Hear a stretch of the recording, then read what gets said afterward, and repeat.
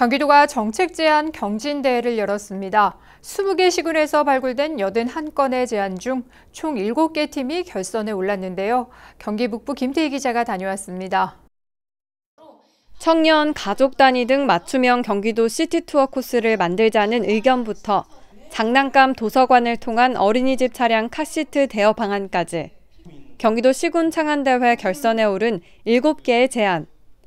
대부분 실현 가능성이 높고 전국에서 활용할 수 있는 제안들입니다.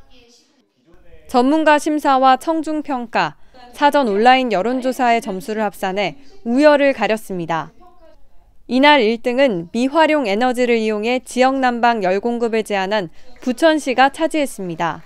그 저희가 그 에너지로 쓰고 남은 열을 어떻게 하면 재활용할까 생각하다가 인근에 있는 지역 난방 열로 공급하면 좋을 것 같아서 인근 GS 파워에다 제안을 해서 어, 저희가 이 사업을 추진하게 됐습니다. 이 제안에 따르면 온실가스를 줄일 뿐 아니라 세외 수입까지 얻을 수 있습니다. 수상한 팀은 최고 500만 원의 상금을 받았습니다. 시군에서 채택된 많은 제안들이 다른 시군에 좀 퍼져나가고 그로 인해서 도민들의 삶이 좀 개선되고 나아지고 웃음을 띌 수 있는 그런 계기가 되면 좋겠습니다. 도는 올해 선정된 제안을 관련 부서 검토를 통해 정책으로 반영하거나 도 전역에서 활용할 수 있도록 할 계획입니다. 경기줄 TV 김태희입니다.